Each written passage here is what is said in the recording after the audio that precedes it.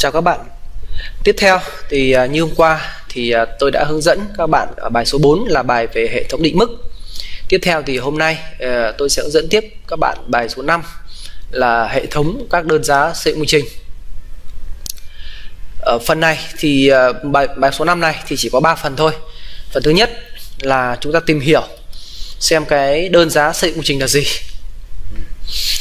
Cái thứ hai là chúng ta sẽ tìm hiểu xem là cái cách tính cách xác định, xây dựng lên cái bộ đơn giá xây dựng công trình của các tỉnh như thế nào.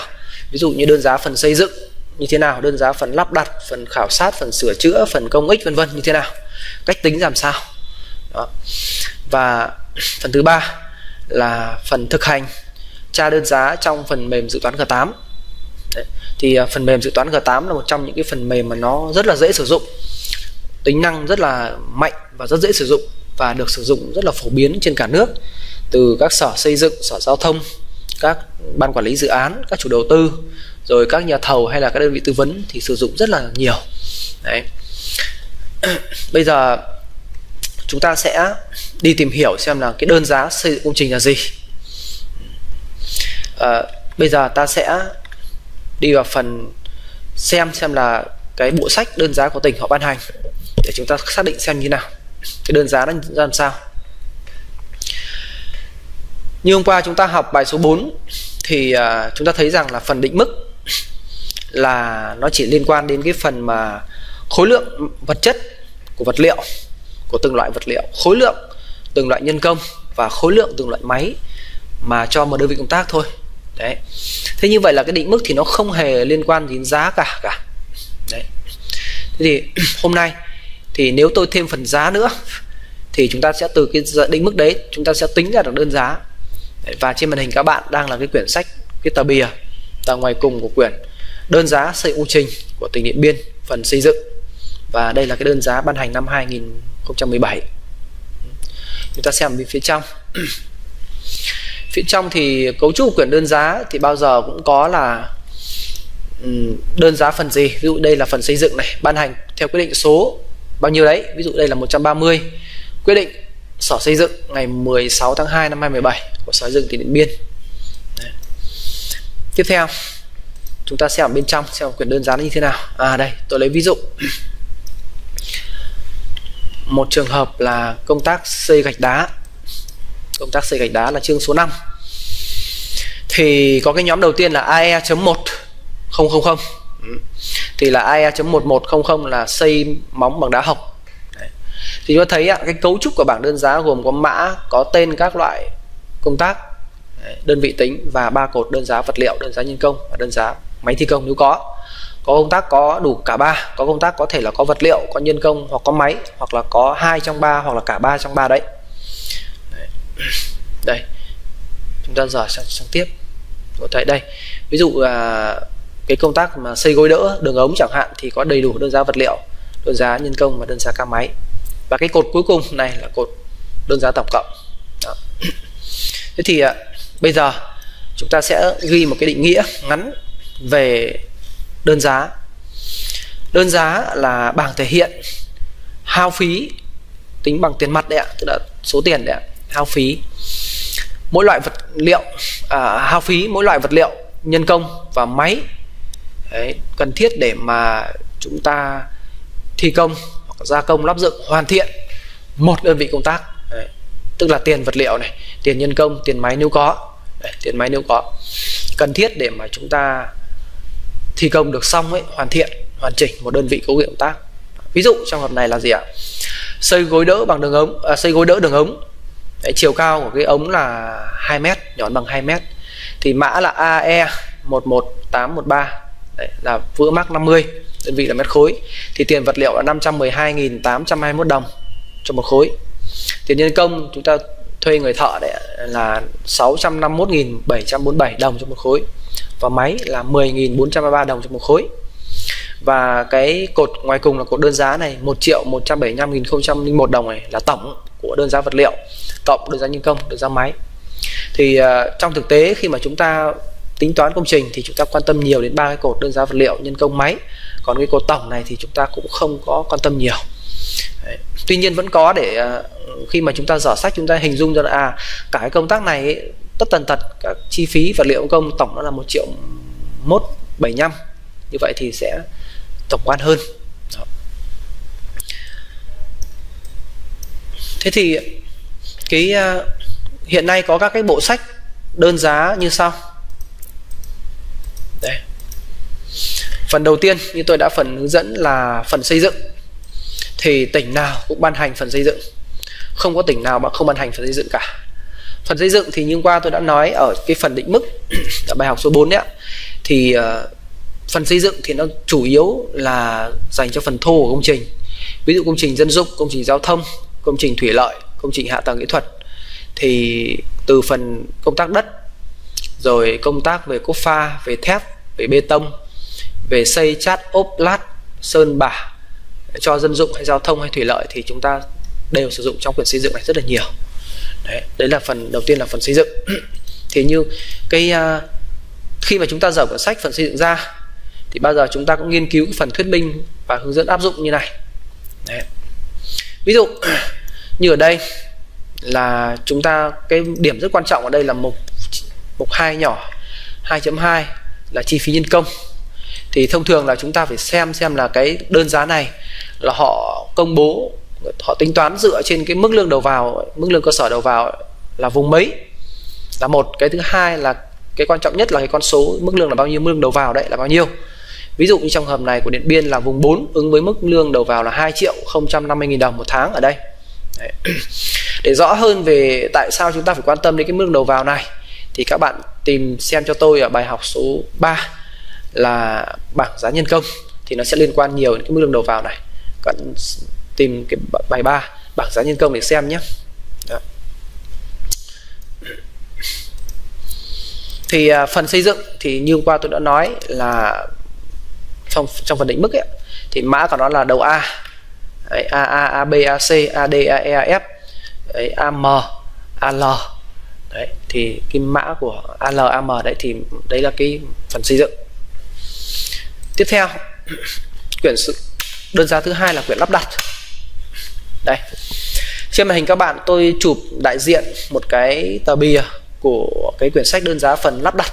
Phần lắp đặt của tỉnh Điện Biên, tỉnh Điện Biên năm 2017 thì cũng tương tự như quyển xây dựng thôi. Đấy, thì à, thì phần lắp đặt định mã đầu là B, từ BA tới BD theo sau là một dấu chấm và năm chữ số. Đấy giờ chúng ta xem. Đây. Ví dụ như bây giờ chúng ta xem một cái nhóm là BA13 lắp đặt các loại đèn. Thì việc đầu tiên ấy là chúng ta bao giờ cũng phải xem ấy, cái việc lắp đặt đèn này ấy, cái thành phần công việc là gì. Tức là cái đơn vị thi công ấy phải làm những cái việc gì. Đấy. làm cái gì ạ? Chuẩn bị vật liệu, đo, lấy dấu, cắt, đấu dây vào hệ thống, bắt vít cố định, lắp các thiết bị, rồi thử rồi theo đúng yêu cầu kỹ thuật rồi là kiểm tra bàn giao. Đó thì đó là cái công việc của đơn vị thi công. Vì cái đơn giá này chính là đơn giá khi tương ứng với việc là tại thời điểm chúng ta thi công à, cho việc thi công. Đó, thì cho nên là cái đây cái thành phần công việc nó sẽ thể hiện rất rõ cái cái, cái những cái việc mà đơn vị thi công phải làm để mà ra được cái giá này ra được cái giá nhân công này và ra được cái máy nếu có ở đây. Để công tác có máy nhé đây vì công tác này là có đơn giá các máy nhé đấy. đấy phần lắp đặt. Tiếp theo chúng ta xem phần thứ ba là phần khảo sát. Thì đây là mỗi quyển sách phần đơn giá xây công trình phần khảo sát năm 2017 của tỉnh Điện Biên. Đấy, thì chúng ta thấy ạ. Đây ờ, khảo sát thì mã là C như bài học số 4 về định mức tôi đã hướng dẫn rồi. Tôi nhắc lại thôi ạ mã là CA CB CC vân vân. Theo sau một dấu chấm và năm chữ số. Thì có thấy ạ cái thành phần công việc của công tác CC 21 này này khoan xoay bơm rửa bằng ống mẫu ở trên cạn. Thì thành thành phần công việc này điều kiện áp dụng này đấy vân vân thì là họ là là sở dựng các tỉnh là họ đã hướng dẫn rất chi tiết về thành phần công việc ở đây. Đấy, thì chúng ta tham khảo theo thành công việc này. Và tất nhiên cái phần quan trọng nhất trong quyển đơn giá là gì ạ? Mã đầu việc này tên đầu việc là gì này? Đơn vị tính đơn giá vật liệu đơn giá nhân công và đơn giá các máy vân vân. Thế thì nó có rất nhiều các bộ sách như là sửa chữa này. Đấy sửa chữa có tỉnh có có tỉnh không nhé phần sửa chữa này. Rồi là có phần công ích ví dụ như là cây xanh chẳng hạn. Đấy phần cây xanh ngoài công viên hay là hay là trên vỉa hè vân vân. Thì nằm ở đây. Rồi uh, chiếu sáng. Đơn giá phần đô thị chiếu sáng đô thị đấy ạ ví dụ như lắp đặt cột đèn rồi là chóa đèn ở ngoài công viên ở ngoài vỉa hè đấy ạ. Rồi là phần môi trường. Ví dụ như là thu gom xử lý rác thải là cũng có một cái bộ sách riêng. Đấy mã M MT tức là môi trường đấy ạ. Thoát nước đô thị. Đấy, cống rãnh vân vân nạo vét bùn cống rãnh ờ, ở đô thị mã là T TN tức là thoát nước đấy. lưu ý các bạn rằng là có tỉnh thì có phần có phần phần xây dựng lắp đặt khảo sát à, là tỉnh nào cũng có. Nhưng mà phần sửa chữa phần công ích phần thí nghiệm vật liệu vân vân thì không phải tỉnh nào cũng có. Tùy tỉnh có tỉnh ban hành thì có có tỉnh thì không. Đấy. Đó. như vậy à, vừa rồi là tôi đã hướng dẫn cho các bạn xác định là tìm hiểu xem là đơn giá xây dựng trình là gì. Và chúng ta đã biết được là có những bộ sách đơn giá nào. Sách bằng giấy nhé cho các tỉnh công bố thì à, tôi chuyển sang phần thứ hai là cách tính ờ, xác định ra được cái đơn giá xây dựng công trình phần ờ, đơn giá vật liệu đơn giá nhân công đơn giá ca máy. Thì như chúng ta đã vừa nhìn thấy trên màn hình đấy ạ thì là chúng ta đã thấy được ba cái cột cuối là ba cột đơn giá vật liệu công máy do các tỉnh họ công bố. Nhưng tại sao lại ra được cái con số đó? Thì bây giờ tôi sẽ dẫn các bạn cái cái cái cái cách mà chúng ta sẽ tính ra cái ờ, bộ sách đơn giá đó bây giờ tôi sẽ hướng dẫn. Đây. Ví dụ bây giờ tôi chọn tỉnh điện biên cho đúng với quyển sách kia đi. Rồi. Bây giờ tôi một công tác là mã AI tôi ví dụ như vậy. Thì bây giờ tôi sẽ hướng dẫn cái cách để mà ờ, ở tỉnh họ tính toán để ra được cái cái đơn giá đấy trước khi đi vào hướng dẫn việc uh, xác định đơn giá thì uh, tôi hướng dẫn lại một chút về cái um, cái định mức. Nhắc lại bài học số 4 là định mức là gì ạ? Là bảng thể hiện cái khối lượng hao phí mỗi loại vật liệu này. Đúng chưa ví dụ đây là thép hình là bao nhiêu oxy bao nhiêu chai que hàn bao nhiêu cân. Về mặt khối lượng các bạn nhé. Đó tôi nhắc lại ạ. Cũng như là các loại nhân công mỗi loại là bao nhiêu các loại máy mỗi loại là bao nhiêu. Đấy, để mà gia công để mà lắp dựng để mà thi công hoàn thiện một cái đơn vị công tác này. Đấy, như vậy cái bảng mà tôi đây này là định mức này. Đó. và chúng thấy định mức thì nó không liên quan đến tiền bạc cả. Đấy, ví dụ như là hôm nay giá vật liệu nó tăng ngày mai nó giảm ngày kia cát nó hiếm chẳng hạn ngày kia thép nó bị ừ, tăng giá do nhập khẩu nó tăng chẳng hạn đấy thì cái định mức này không có hề thay đổi. Cái định mức này không được thay đổi không được thay đổi. Bởi vì khi thay đổi thì chất lượng cái cấu kiện đó sẽ kém đi ngay lập tức giảm đi thì nó sẽ kém đi ngay lập tức. Rồi thì tiếp theo nếu bây giờ tôi vừa rồi là yếu tố khối lượng. Đấy, bây giờ tôi quan tâm một yếu tố nữa là giá. Tôi lấy ví dụ thép hình của tôi là 12.727 đồng một kg 12.700 một kg ở đây. Thế thì cái công tác vì kèo này một tấn vì kèo nó cần là 860 cân vậy thì một cân là nó hết 12.700 thì 860 cân nó sẽ hết bao nhiêu ạ? Ai cũng biết là gì ạ? Chúng ta sẽ lấy hao phí mức này 860 và nhân với giá của 1 kg thép hình. Vậy ta đây ta sẽ được gì ạ? Tiền của thép hình. Đấy, để mà thi công xong cho một tấn này.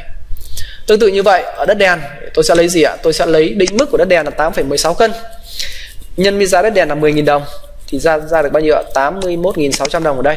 Thì đây là tiền của gì ạ? Của đất đèn. tương tự như vậy thì tất cả các vật liệu này thì cái thành tiền là tính giống nhau thôi. Tức là cái cột này luôn luôn bằng cột hao phí mức này mà nhân với cả cột giá này. Đấy. ở đây thì ta lưu ý có một cái đại lượng là vật liệu khác. Ở đây là 5% như hôm qua bài học số 4 tôi đã hướng dẫn các bạn là gì ạ? Là cái 5% này nó không phải là 5% khối lượng vật chất của cái đống này. Đấy, mà là 5% tương ứng với cả cái thành tiền này đó. vì thế mà cái đơn giá vật liệu khác đây ấy, nó sẽ bằng gì ạ? Bằng tổng thành tiền của các cái vật liệu còn lại mà chia cho 100 chúng ta thấy đây ạ. Sum H7 H11 cũng chưa 7 là đây 11 là đây. Xong rồi chia 100 Đấy, chia cái E5 là chia ra một thôi không có vấn đề gì cả. Đấy. thế thì đơn giá vật liệu khác là như vậy. Tuy nhiên tôi cũng nhắc lại một chút đối với cả bên viễn thông thì cái đơn giá vật liệu khác này gì ạ? Hôm qua bài về định mức bài số 4 tôi đã dẫn gì ạ? Đơn giá vật liệu khác đối với viễn thông thì sẽ bằng tổng thành tiền của vật liệu phụ mà chia cho 100 nếu đối với những công tác mà có phân vật liệu chính vật liệu phụ. Còn tất nhiên mà công tác nó chỉ có vật liệu chính hoặc chỉ có vật liệu phụ thì đương nhiên là vật liệu khác nó, cái, cái đơn giá này nó sẽ bằng gì ạ? Bằng tổng thành tiền của cái vật liệu còn lại chia 100 thôi. Đúng chưa ạ? Chứ không phải là lúc đấy máy móc thì chúng ta sẽ không làm được đâu. Được chưa ạ? Tôi nhắc lại là bên viễn thông thì cái này, đối với công tác mà có phân vật liệu chính, vật liệu phụ, thì cái đơn giá vật liệu khác này sẽ bằng tổng thành tiền của vật liệu chính chia 100 còn nếu như mà công tác đấy không phân biệt vật liệu chính, không phân biệt vật liệu phụ, thì cái đơn giá vật liệu khác sẽ bằng gì ạ? Tổng thành tiền của tất cả các vật liệu còn lại mà chia 100 đó. Tôi nhắc lại một chút, cái này các con số này là các con số hao phí mức này thì các bạn biết lấy ở đâu rồi ạ đúng không ạ? Là các con số này chúng ta các thông số tên đơn vị và hao phí này ấy, của công tác này chúng ta lấy ở quyền định mức 1776 ra đúng chưa Đấy, mà mới hơn nữa là 1172 mới hơn nữa là 588 và mới hơn gần đây nhất Đấy, tính đến tháng 2 năm 2019 thì chúng ta có phần xây dựng là số 235 Đấy, năm 2010 18 là mới nhất. Đấy. thì chúng ta tra quyền đấy ra được cái định mức này thế còn cái cột giá này Đấy, ví dụ giá thép hình là 12.727 đồng này giá que hàn là 21.818 đồng này thì chúng ta lấy đâu ra? Thì chúng ta lại nhớ đến bài học trước ạ bài bảng giá vật liệu đúng chưa ạ? Thì đây chính là giá vật liệu gốc giá vật liệu gốc. Và tôi nhắc lại một chút đúng chưa ạ? Nhắc lại một chút cũng không thừa. Đơn giá giá vật liệu gốc đây giá vật liệu gốc đây ạ. Đây. nhắc lại một chút ạ là chúng ta nhìn trở đây chúng ta thấy ạ. Ở đằng sau cùng quyển sách chúng ta thấy đây là trang 462 này 463 đấy, tức là độ khoảng ba bốn chục trang cuối đấy ạ. Thì bao giờ cái trong quyển sách đấy thì bao giờ sở dựng họ cũng uh, tiến hành họ thể hiện cái bảng giá vật liệu gốc tên các loại vật liệu đơn vị tính và giá gốc ở đây. Và cái giá này ấy chính là cái giá mà tỉnh dùng để mà xác định ra cái đơn giá ở đây. Đơn giá ở đây. Đấy. Cái đây chính giá gốc chính là cái này. Chúng ta đưa vào đây. Tiếp theo chuyển sang phần uh, tính đơn giá nhân công. Thì cũng tương tự vật liệu chúng ta lấy định mức nhân công là bậc 4 trên 7 nhóm 1 cũng chưa 32,571 công. Và nhân với đơn giá nhân công bậc 4 trên 7 ở đây thì chúng ta sợ ra thành tiền đây. Đấy. và cái công tác vì kèo này chỉ cần một nhân công bậc 4 trên 7 thôi cho nên là cái tiền của công tác này chính là đơn giá của đơn ra nhân công của công tác này. Nếu nó có hai thì chúng ta cộng lại có ba chúng ta cộng ba thành tiền của ba cái nhân công lại thì ra thôi. Đấy, ok. Một câu hỏi đặt ra là cái con số 201.058 đồng lấy đâu ra? Đấy, thì chúng ta nhớ lại bài học cái bảng giá nhân công đúng chưa ạ? Thì con số này này sẽ bằng cái mức lương đầu vào. Mức lương đầu vào do tỉnh công bố mức lương đầu vào đây. Tôi nhắc lại cái mức lương đầu vào trong cái quyển đơn giá đây ạ. Phần xây dựng đúng chưa ạ? Thì à, ở cái phần đầu tiên là thuyết minh và hướng dẫn áp dụng. Đấy, phần 2.1 là chi vật liệu. Đấy, phần 2.2 là chi phí nhân công. Tôi nhắc lại chỗ này một chút tôi vừa nhắc tôi hướng dẫn xong. Thì họ sẽ lấy cái 2 triệu 050 nghìn này này nhân với cả hệ số lương của bậc 4 trên 7 Đấy, ở trong thông tư 05 2016 bộ dựng ấy chia cho 26 ngày thì sẽ ra được cái con số này. Đó. Đấy 201.058 để chúng ta kiểm tra xem có đúng nhé đầu vào này. 2 triệu 050 đúng chưa? Đấy, 2 triệu 050 tương ứng với cả cái quyển sách này. 2 triệu 050 để giá gốc. Đấy. thì nhân công bậc 4 trên 7 đúng chưa chúng ta sẽ tính bằng cách gì ạ? Lấy cái hệ số lương nhân với mức lương đầu vào 2 triệu 050 thì ra được một tháng. Một tháng này chia cho 26 ngày thì ra được gì ạ? 201 đến cho thấy ạ cái này mà chia cho đầu vào D7 đầu vào đây D đây. 7 đây, chính là 26 ngày đó, thế thì chúng ta sẽ ra được cái đơn giá nhân công 201.058 đồng 201058 Đấy.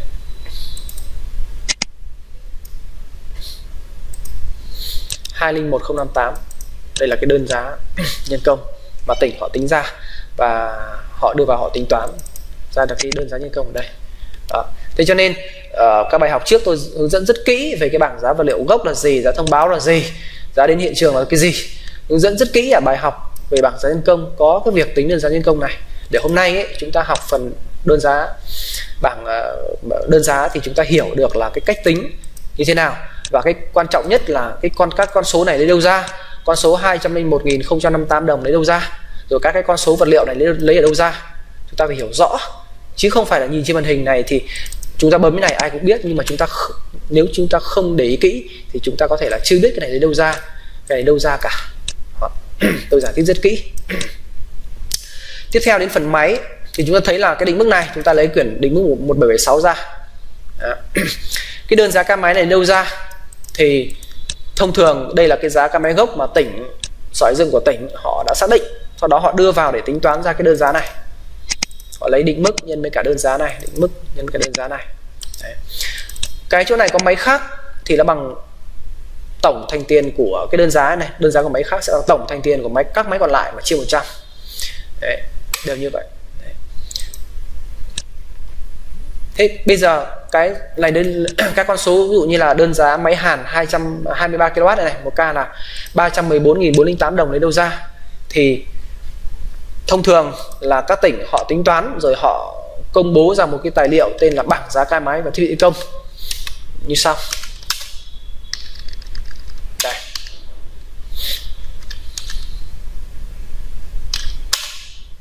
Đây. Họ cũng tính toán như là bài học hôm trước tôi hướng dẫn về bảng giá ca máy. Đấy, họ tính toán và họ in thành sách. Đấy, và cái tài liệu tên là bảng giá ca máy và thiết bị công của tỉnh Điện Biên hay của tỉnh Hà Nội hay tỉnh Hải Phòng hay tỉnh Đồng Nai, tỉnh Bình Dương vân vân. Và đây. Đây cái giá ca máy họ lấy ở đây họ đưa vào đây. một triệu bao nhiêu triệu rưỡi đây, triệu bảy bảy đây hai triệu hai này họ đưa vào để tính. Và như hôm qua tôi đã hướng dẫn trước ở cái bài học trước là bài về bảng giá ca máy tôi đã hướng dẫn rất chi tiết cái cách tính làm sao ra được cái đơn giá ca máy này là chúng ta phải tính gì ạ? Tính khấu hao tính sửa chữa rồi là tính uh, nhiên liệu năng lượng xăng dầu diesel hết bao nhiêu tiền rồi là tính cho chi phí nhân công là bao nhiêu tiền cũng như là chi phí khác. Chúng ta cộng năm thành phần thứ nhất là khấu hao thứ hai là sửa chữa thứ ba là gì ạ? Nhiên liệu năng lượng thứ tư là nhân công lái máy và thứ năm là chi phí khác. Chúng ta cộng vào thì sẽ ra được cái đơn giá ca máy này. Đó thì tỉnh họ cũng cũng tính toán tương tự như vậy và họ in thành sách cho chúng ta thôi. Đó. thì cái con số đơn giá ở cuối cùng này cuối cùng này sẽ được đưa vào đây để tính toán. Đây sẽ đưa vào đây để tính toán. Đó. Đấy. và chúng ta ra được cái thành tiền này ra cái thành tiền này. Và cái đơn giá ca máy cho cái công tác vì kèo này chính bằng sum của cái gì? Của các cái máy này cộng lại là xong đó. thế thì bây giờ chúng ta ghi à, chúng ta sẽ qua cái việc khảo sát này chúng ta sẽ ghi uh, thấy được cái công thức tính là gì ạ? Đơn giá vật liệu sẽ bằng sigma của gì ạ? Hao phí định mức của vật liệu thứ y. Đấy. nhân với cả đơn giá của vật liệu thứ y tương ứng. Đấy. và tương tự như vậy đơn giá nhân công này sẽ bằng cái gì ạ? Bằng sigma của gì ạ? À, hao phí mức của nhân công thứ y nhân với cả đơn giá của nhân công thứ y. Tất nhiên y chạy từ 1 tới tổng số loại nhân công. Và trường hợp này y chạy từ 1 tới tổng số loại vật liệu. Đúng chưa chúng ta có mấy loại? 1 2 3 4 5 6 loại vật liệu kể cả vật liệu khác là 6 loại. Tương tự như vậy đơn giá nhân đơn giá ca máy đơn giá máy thi công đơn giá ca máy đấy sẽ bằng gì ạ? Sigma của hao phí mức của máy thứ y. Đấy, chúng ta chúng ta trả của định mức nhân với cả đơn giá của ca máy thứ y. Y chạy từ 1 mà tới tổng số loại máy. Ví dụ trong hợp này chạy 1 2 3 4 loại máy. Đó, như vậy chúng ta lấy cột này nhân với cột này ra cột này sau đó cộng cái này lại thì ra được cái này. Đấy là cách tính đơn giá vật liệu đơn giá nhân công của các máy. Thì sở xây dựng các tỉnh cũng tính một cách tương tự nhưng họ sẽ không in cả một cái bảng dài này chúng ta mà họ chỉ in cái gì ạ? Tóm lại cái đầu việc nó như này đơn vị thế này đơn giá vật liệu ở đây này. Đấy, đơn giá nhân công là là đây này đơn giá các máy này đây này họ làm tròn. Thông thường là họ làm tròn số nguyên chứ không có phải là số thập phân như thế này không phải số phần này mà họ làm tròn như thế này. Như thế này. Như thế này. Đấy, chúng ta xem lại một lần nữa cái hình ảnh về cái quyển đơn giá là chúng thấy rõ.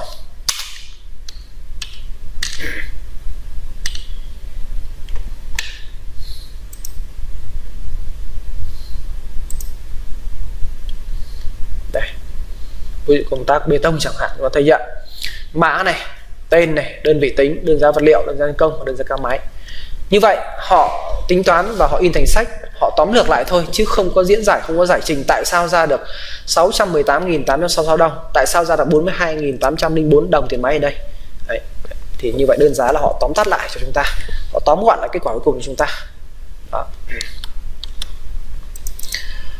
rồi như vậy là chúng ta đã học sang xong phần thứ hai à, phần thứ hai để mà xác định được giá ờ, đơn giá công tác giá vật liệu công máy của từng công tác một.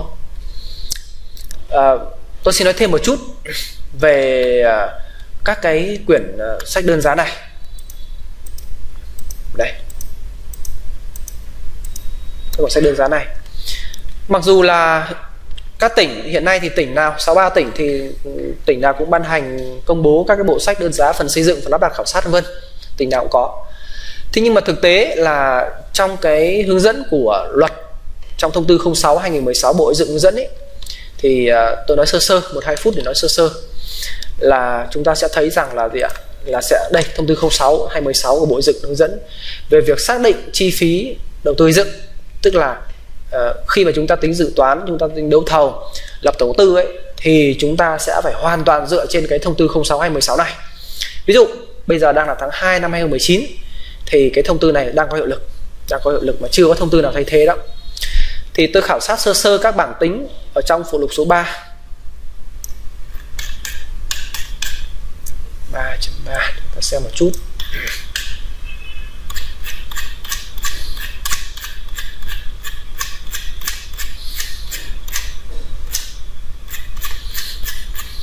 Đây, phụ lục 3 là phương pháp xác định dự toán chi phí dựng. Đấy. thì khi chúng ta làm dự toán đến ờ, bài học sau về dự toán công trình ấy, thì tôi sẽ hướng dẫn rất kỹ về cái này. Nhưng mà đây là tôi sơ qua để chúng ta chúng ta xem là cái quyển đơn giá của tỉnh ban hành là không có áp dụng được vào đâu trong việc tính toán dự toán cả. Nếu đúng theo luật thông tư 06 này. Ở phụ lục 3 này là phụ lục rất quan trọng hướng dẫn toàn bộ cái việc xác định dự, dự toán chi phí dựng cũng như là tổng gần để của cái công trình. Thì có một số phương pháp tính có hai hai phương pháp tính. Phương pháp thứ nhất là chúng ta tính theo bảng 3.3 là tổng hợp dự toán chi phí dựng. Ờ, theo phương pháp là theo đơn giá dựng chi tiết của công trình Đấy. thế chúng ta thấy ở đây ạ chi tiết gồm có tiền vật liệu tiền nhân công tiền máy vật liệu đây ấy, chúng ta chỉ tính là khối lượng quy nhân với cả đơn giá thứ di thôi chứ không có cộng với tranh lệch vật liệu Đấy. nhân công này là chúng ta nhân hệ số ca nhân công máy chúng ta nhân hệ số ca máy trong đó ca nhân công ca máy ở đây với thông tư mới đấy ca nhân công ca máy không phải là hệ số nhân công hệ số máy do tỉnh công bố nữa mà là hệ số làm đêm, để chúng ta thấy ạ, làm đêm đúng chưa ạ? Hệ số máy thi công làm đêm đúng chưa ạ? Chứ không phải là cái hệ số nhân công máy như là thông tư 04 năm 2010 cũ, hướng dẫn là cái hệ số do tỉnh công bố nữa. Đấy. nếu như mà cái hệ số nhân công này, mà là hệ số nhân công do tỉnh công bố thì cái đơn giá này, đơn giá nhân công, đơn giá máy này mới sử dụng cái đơn giá do tỉnh công bố. Chứ, đấy, chứ nếu mà cái hệ số này chỉ làm đêm thôi, chứ không phải là hệ số do tỉnh công bố. Đấy, cái thứ nhất. Cái thứ hai là chỗ này không có cộng tranh lệch vật liệu. Ừ. cho nên cái đơn giá này là phải đơn giá xác định tại thời điểm mà chúng ta làm dự toán công trình. Không có cộng tranh lệch vật liệu. Cho nên cái đơn giá này là đơn giá tại thời điểm chúng ta làm dự toán chứ không phải đơn, đơn giá gốc do tỉnh công bố. Đấy. một yếu tố nữa cái DG vật liệu DG công DG máy ở phía dưới bộ dựng hướng dẫn rất chi tiết là đây DG đây. DG vật liệu DG công DG máy là về gì ạ. Là chúng ta phải uh, xác định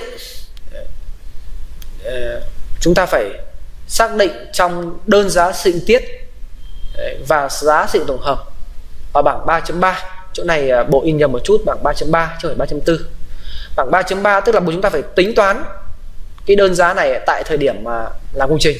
Bảng 3.3 tôi giải cho chúng ta xem. 3.3 đây.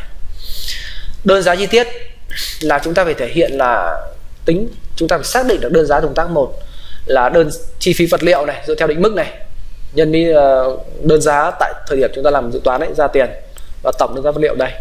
Tương tự như vậy, phải xác định được đơn giá nhân công dựa theo định mức. Phải xác định đơn giá ca máy dựa theo định mức và giá ca máy hiện tại. Đó. có nghĩa là chúng ta phải tính toán chứ không phải là chúng ta lấy cái đơn giá gốc của tỉnh công bố và đưa vào đấy đâu ạ. Sau đấy ra được đơn giá vật liệu công máy đi rồi thì chúng ta mới đưa xuống bảng giá tổng hợp ở đây, giá trị tổng hợp ở đây. Chúng ta đưa vào cái cột 567 đây để ra được cái tổng cộng ở đây đó. như vậy là cái việc mà tính cái sigma QG nhân DG ở phía ở bảng 3.1 ấy là chúng ta phải dựa phải chúng ta chúng ta phải tính toán thực tế chứ không phải là tra sách đơn giá của tỉnh ban hành hay công bố ờ, ở đây như ở đây để mà ra được cái con số chúng ta đưa vào đâu ạ. Ý tôi là không phải là các bạn uh, lấy các con số ở đây đâu ạ để chúng ta đưa vào đâu ạ. Không phải lấy là cột vật liệu nhân công máy nếu có ở đây này. Đây máy nếu có ở đây này. Để đưa vào đâu mà chúng ta phải tính toán đấy ạ. Đấy. rồi đấy là bảng 3.1 hướng dẫn. Tiếp theo, bảng 3.6 ở phía dưới này, hướng dẫn về ờ, tính ờ, dự toán chi phí theo cái, theo tổng hợp vật liệu công máy. Thì chúng ta thấy là tiền vật liệu này, tiền nhân công này, tiền máy là bộ dựng hướng dẫn lấy từ bảng 3.5 3.5 chứ không phải là tra sách đơn giá tỉnh công bố, bảng 3.5 3.5 là bảng gì? Là bảng mà thể hiện, chúng ta phải xác định được cái chi phí, tức là tiền mua vật liệu rồi là tiền trả cho người nhân công tiền trả cho máy móc thiết bị thi công. Mà phải tính toán tính toán dựa theo cách nào? Chúng ta, chúng ta liệt kê các loại vật liệu công trình ra. Đấy, đưa khối lượng của năm. Nhân với giá tại thời điểm chúng ta thi công nhé bao gồm cả cước vận chuyển. Xong rồi cộng tổng lại ra tiền vật liệu đây này. Đấy. chúng ta liệt kê các loại nhân công bậc 3, bậc 4, bậc 5, bậc 3,5 trên vân vân đây. Chúng ta điền khối lượng của năm. Và cái giá giá này chúng ta phải xác định được tại thời điểm mà chúng ta thi công thì cái giá này xác định thế nào thì các bạn xem thêm ở cái uh, bài học về bảng giá nhân công. Tôi đã hướng dẫn rất kỹ rồi.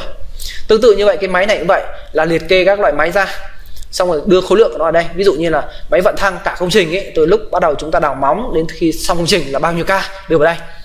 Xong xác định đơn giá cam máy vận thăng bao nhiêu theo thông tư 06 ấy bảng phụ lục 6 ấy, hôm qua ở cái bảng ờ, ở cái phần mà bảng giá cam máy tôi đã hướng dẫn rồi. Ờ, các bạn chưa xem thì các bạn tìm lại để xem video thì chúng ta nhân khối lượng, nhân với cái đơn giá này ra được cái thành tiền máy đây. Và chúng ta cộng tiền máy trộn vữa, máy vận thăng, máy ủi, máy xúc, vân vân. Rồi cộng lại hết ra cái tiền m ở đây và chúng ta đưa cái tiền vật liệu, tiền nhân công, tiền máy này này, đưa nó vào đây. Đưa vào đây vào đây. Như vậy, cái bảng 3.5 này là tính hoàn toàn theo định mức. Tính ra được cái khối lượng theo định mức và nhân với cái giá hiện tại, bao gồm cứ vận chuyển của vật liệu, nhân với giá hiện tại của nhân công mà chúng ta phải xác định nhân giá hiện tại của máy chúng ta phải xác định chứ không phải là các bạn dựa trên cái quyển sách đơn giá này để chúng ta lấy đơn giá liệu đơn giá nhân công ra máy đưa vào là không đúng. Đó. vì đây là giá gốc chứ không phải giá tại thời điểm mà chúng ta tính uh, dự toán công trình. Đó. Thế và uh, trong thông tư này thì uh, đến bảng 3.6 là hết. Còn các bảng phía sau 3.7 3.8 là các cái tỷ lệ phần trăm về đến mức chi phí chung. 3.8 cũng là chi phí chung là nhưng mà cho theo tính theo nhân công và 3.9 là định mức về thu nhập tuyến trước. Sau đó là hết. Sau đó sang phụ lục 4 là phương pháp xác định giá dựng đó. như vậy là trong cái thông tư 06 2016 này Đấy, là nó chỉ có hai phương pháp để xác định dự toán công trình. Và hai phương pháp này đều dựa theo định mức hết. Và nó nhân với cả cái giá vật tư bao gồm có vật liệu công máy tại thời điểm chúng ta làm dự toán tại thời điểm chúng ta làm hồ sơ đấu thầu.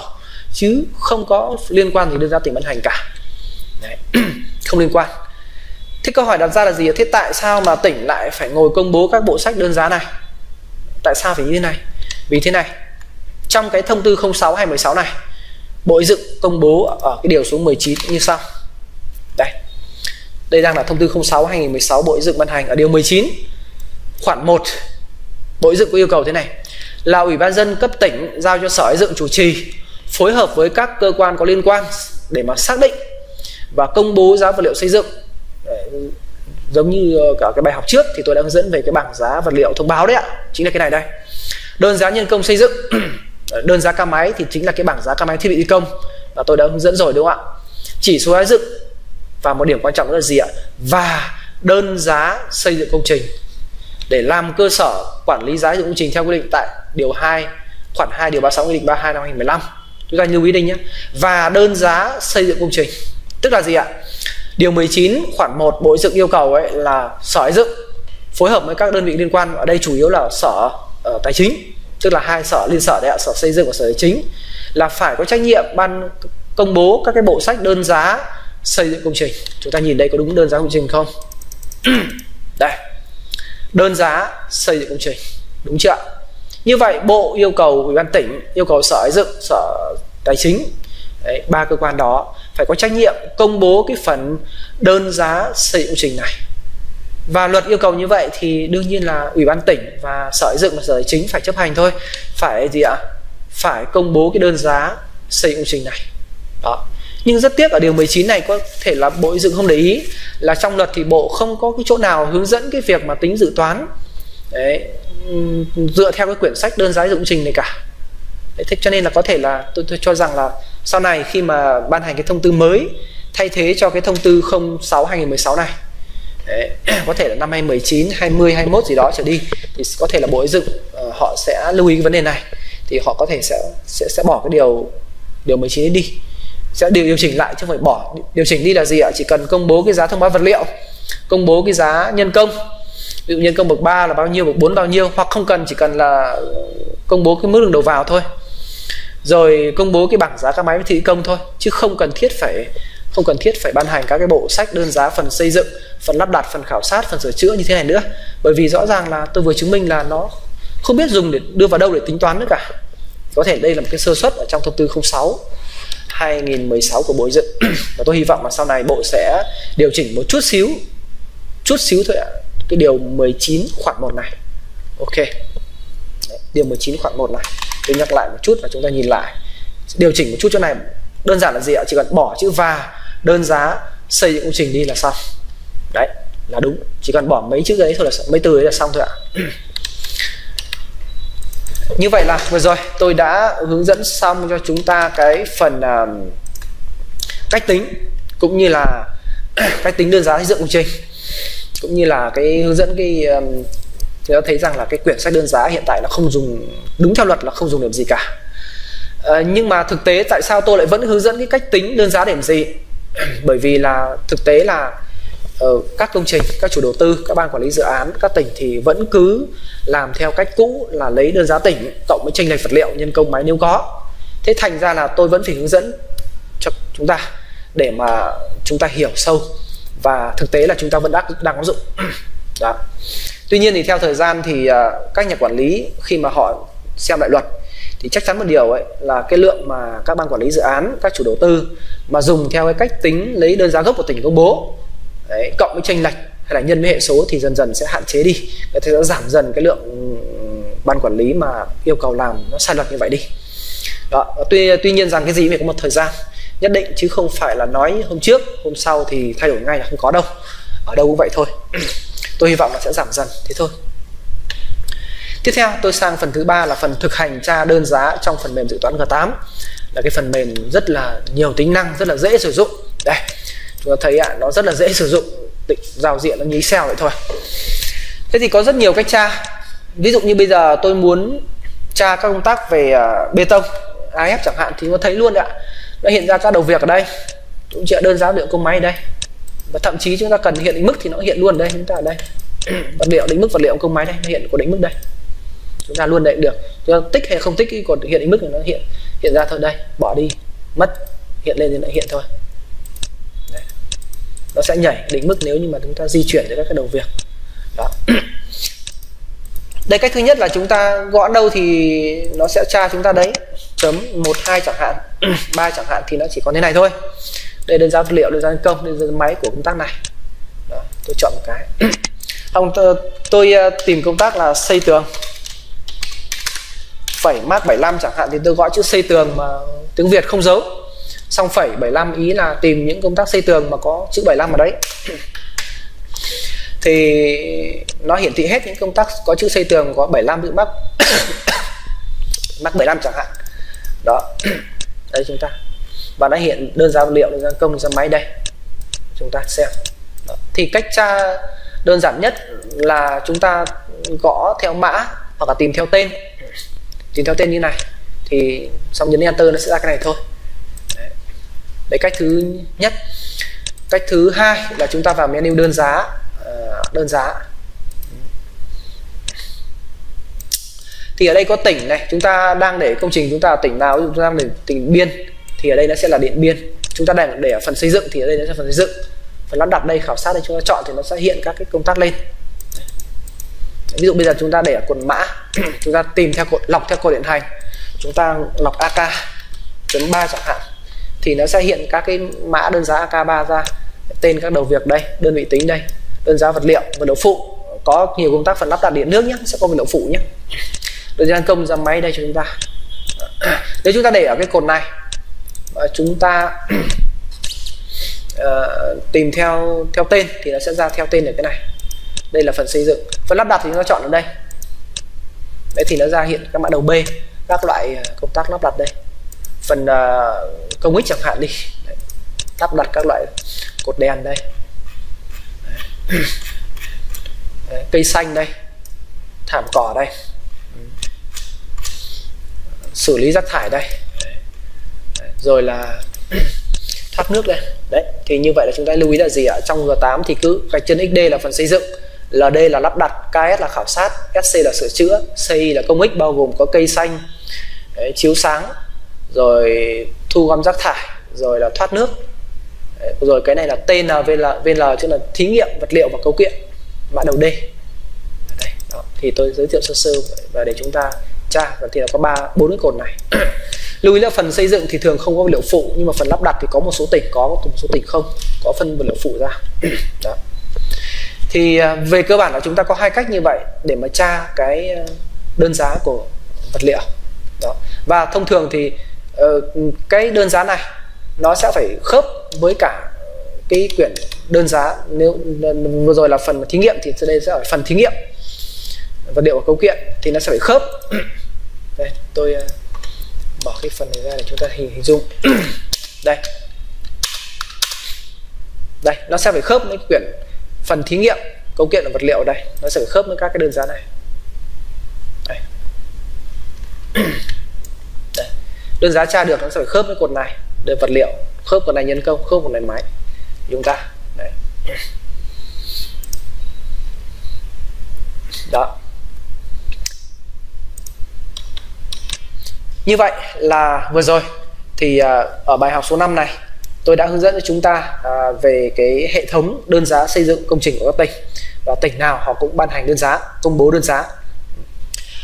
Bài học hôm nay thì à, tôi xin tạm dừng ở đây. Và trước khi tạm dừng thì dừng hẳn thì tôi sẽ ừ, ừ, hướng dẫn các bạn một chút, thêm một chút xíu ở đây là trong quá trình thực hành vận hành cái phần mềm hoặc là làm công trình Ờ, chúng ta có vấn đề gì cần trợ giúp hoặc là chúng ta chưa hiểu thì chúng ta vào cái trợ giúp này. Chúng ta vào đóng góp ý kiến với G8 hoặc là chúng ta vào trang web dự toán g8.com ở đây. Và tôi rất mong là được đồng hành và gặp lại các bạn ở những cái video sau. Tôi xin chân thành cảm ơn các bạn.